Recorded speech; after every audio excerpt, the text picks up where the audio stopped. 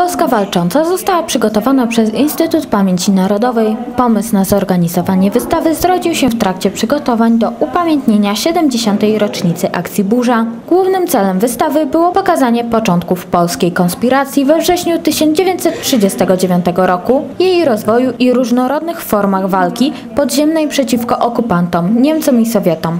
Od dzisiaj do końca czerwca będzie można w Muzeum Arsenale oglądać jedną z najnowszych naszych wystaw zatytułowaną Polska Walcząca.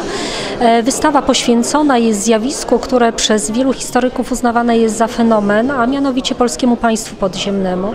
Jego różnych emanacji, zarówno od strony struktur cywilnych, jak i wojskowych, e, wysiłkowi zbrojnemu polskiego państwa podziemnego, e, od zarania funkcjonowania konspiracji zbrojnej w okupowanej Polsce do momentu rozwiązania struktur wojskowych polskiego państwa podziemnego, czyli Armii Krajowej, a także struktur władzy cywilnej, czyli Rady Jedności Narodowej.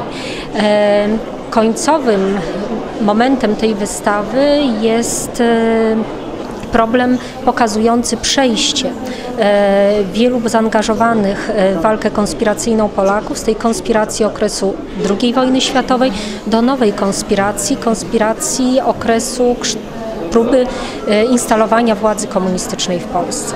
Jak twierdzi Agnieszka Jaczyńska, należy przypominać ludziom o historii, tym bardziej jeśli chodzi o zjawisko polskiego państwa podziemnego. Szeroki aspekt tego wyjątkowego zjawiska został pokazany poprzez archiwalne zdjęcia i dokumenty z epoki. Dzięki nim można zobaczyć najważniejsze wydarzenia z tego okresu z perspektywy ogólnopolskiej i regionalnej.